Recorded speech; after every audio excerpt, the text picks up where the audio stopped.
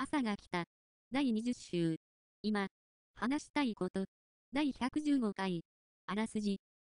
成沢の走行には、女子を人として、婦人として、国民として、教育する必要性が書かれていました。朝は、栄たちにも頼んで、成沢を探させますが、見つかりません。新次郎は、世の、かの、梅から成沢について話を聞きます。正式に鹿屋で働くことになった、愛之助もいましたね。新次郎は、なんでうちの女ご飯、みんなで、心配せなあかんのだす。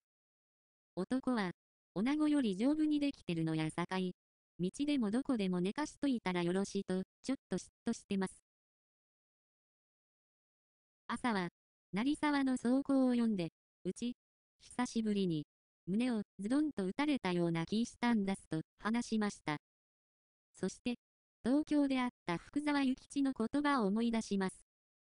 男が大いに学んで、世のために役に立ちたいと願うならば、女もまた大いに学問をして、世のためになりたいと思う。これは必要。男女とは、全く同じものです。でも、朝は福沢の写真を見て、福沢だとわからなかったみたいです。京都の千代は、ノブと話していました。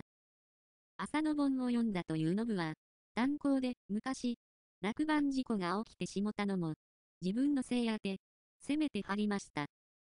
その事故が起きた頃、炭鉱の仕事に打ち込まれへんかったのは、赤ちゃんができて、大阪にずっといてた境なんやて。千代ちゃんのことやんなと言います。千代は、ふんと複雑な表情でしたね。続く。